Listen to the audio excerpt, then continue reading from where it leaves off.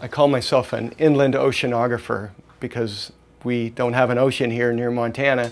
We are Sunburst Sensors World Headquarters here in Missoula, Montana. One of the challenges of doing chemical oceanography 480 miles from the ocean is getting seawater. Last time I was in Seattle, I was out there just a family vacation, and I ended up wading out to the Puget Sound with this jug. Got my pants all wet. We are part of the Wendy Schmidt Ocean Health X Prize. I'm team leader of Sunburst Sensors.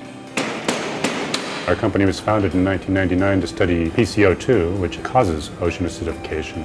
We have increased CO2 in the atmosphere. It's causing a pH change in the ocean as that carbon dioxide is absorbed. The oceans are sucking up huge amounts of CO2. And as pH changes, it can disrupt the food chain. That's a very serious thing in a world where a lot of people depend on the sea for food. We developed one of the first CO2 sensors for marine use. Eight years later, we made a sensor specifically for measuring pH. This is where the magic happens. Right here is our manufacturing space. This table is sort of the center of activity, a lot of history here, just in terms of notches and cuts and drill holes. Company mascot dog. Mike and I, and Catherine, my wife and bookkeeper for Sunburst, all went to high school together. We were close friends because we're both science geeks. I was working for another instrumentation company in Seattle. Somewhat of a gamble to come back. There was only two years of funding, and if it didn't work out, then there's not a lot of mechanical engineering jobs here in Missoula, Montana. We had two children at that point and had decided that we wanted to come home to raise them. You gotta roll the dice sometimes, and it worked out. The SAMI is a submersible autonomous moored instrument. SAMI pH, which is what we used in the X Prize, measures pH. We called this one the T-SAMI because it's made of titanium, so it's the titanium SAMI. And we called this the I-SAMI because it's inexpensive, so the inexpensive SAMI. What I really like about these is that they're so simple. Software is very easy to use and you just put the instrument in the water and you let it go and you come back and you have data.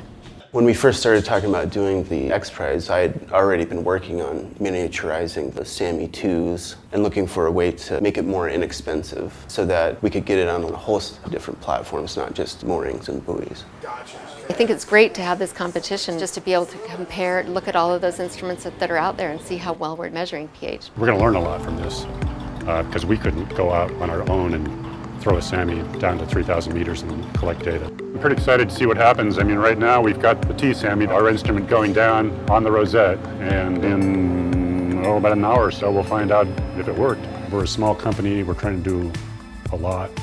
Our approach requires a diversity of talents. I mean, we have to do some electrical engineering, we have to do software, there's fluidics because we've got tiny little pump, tiny little valve, there's mechanical design and pressure housings. And for better or worse, we have more moving parts than some of the other approaches. And it all has to work by itself at depths up to 3,000 meters. Incredible pressure. Just a, the tiniest leak will destroy the instrument immediately. It's good when it comes up that you hear it ticking. That means it's working. it hasn't leaked. See what happened there. It was not ticking when it came up, but it seemed to have run. So that's the first time it came up without ticking? Yeah, but it downloaded so it didn't flood. It Must have just locked up at the last minute. So it's running now. We're a small company, and so we're competing against some teams who have a lot of resources, and uh, we've made a long way. So I mean that feels good that we've proven that with just a small team that we can do something you know this big.